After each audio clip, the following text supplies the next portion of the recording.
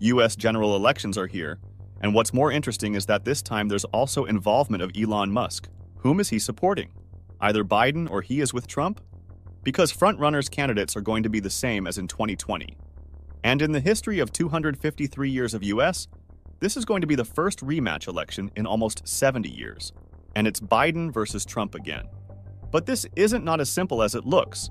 The election campaigns are taking curves every time. It is clear that leader with most support wins in the end. But at this time, the situation seems to be worsened. Elon Musk has taken a very strict decision regarding the elections. Do you want to know what it is? Don't worry, we have got all the news covered in this video today. So stick to the end so you don't miss any single update about it. Hello, viewers. Welcome back to our channel GeoKit, your daily guide to geopolitical affairs. In this video, we will discuss about US elections taking new turns, about public support, and whom does Musk supports.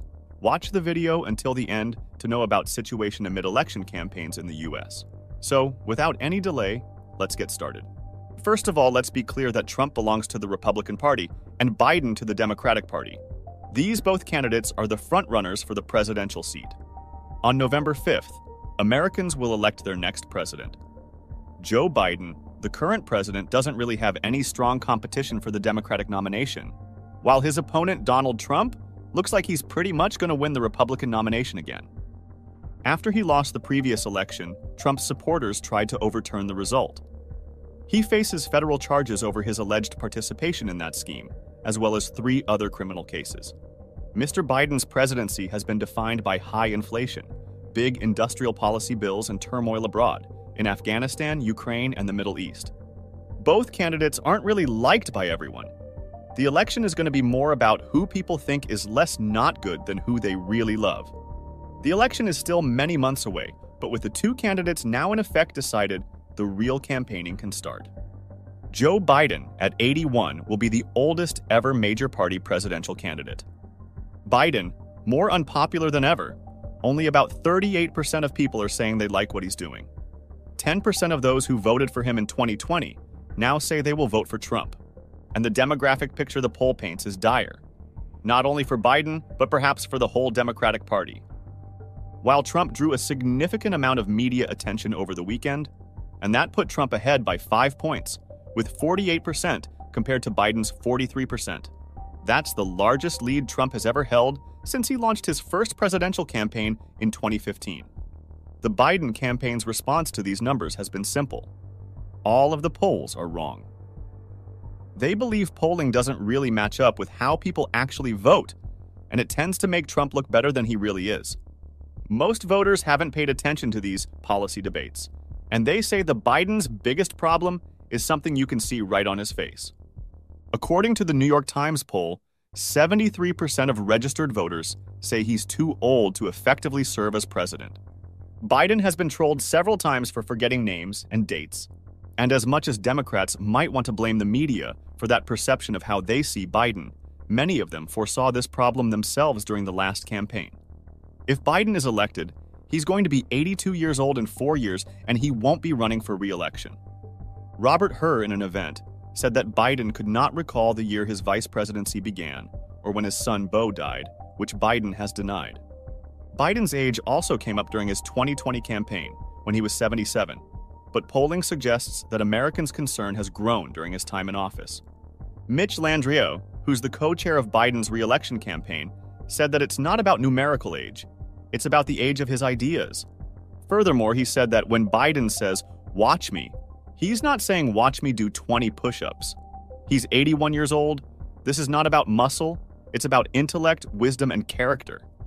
When people have a choice between him and Donald Trump, I believe the public is going to choose wisdom and experience instead of Trump, who looks like he had a couple of extra Big Macs.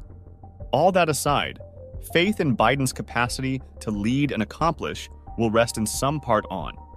And when the situation in Gaza comes to a peaceable resolution, getting a handle on the situation and pressuring Netanyahu into ending the war would be a significant turning point in his presidency.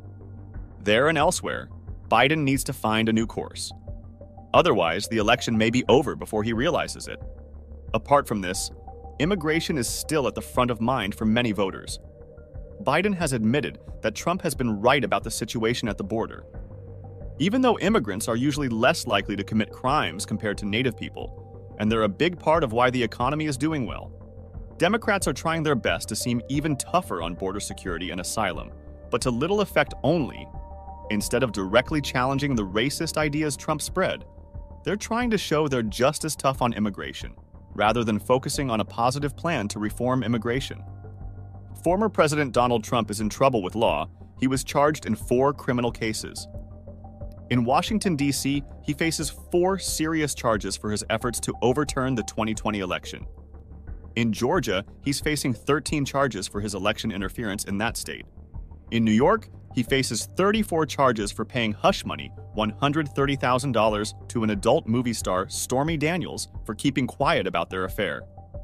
And in Florida, he's facing 40 charges for keeping classified documents after he left office and making it hard for the government to retrieve them back. But Trump denies all these wrongdoings. However, Trump has denied all wrongdoings regarding his cases, but still these court cases have also been a financial drain for him, spending more than 50 million just in a single year, 2023. I'd like to hear from you. Are you finding this video informative? Feel free to share your thoughts and questions in the comment section below. And if you're finding it helpful, please consider liking and subscribing to our channel. Your support means a lot to us and helps us reach a wider audience and the content that you'll love. Let's continue this journey together. When it comes to money for the big election, Biden's got a lot more in his pocket. He started February with a whopping $130 million for his campaign. Trump, on the other hand, had only about $30.4 million, so Biden's got a big advantage there. But Trump is not from those who remain calm in these situations although he wants to win elections at any cost and to overcome the financial problem for this election campaigning. For that, he met with Elon Musk in Florida on the 5th of March. As a former president, he is seeking to get more money for his campaign. Musk, who is worth $192 billion, doesn't like Biden's policies, particularly regarding the immigrant situation at the US Mexico border. In 2022, Musk asked Americans to elect a Republican candidate to counter Biden's Democrats. He said something like Biden's trying to get migrants to come to the US so they can vote for Democrats, even though people who aren't citizens of the US can't actually vote in federal elections. A day after meeting of Musk and Trump, Musk announced on X that he will not donate money to any of the candidates in this year's election, as he hasn't really spent much money on politics, donating less than $1 million since 2009. And this is bad news for Trump because he's already behind on money for election rematch with Biden.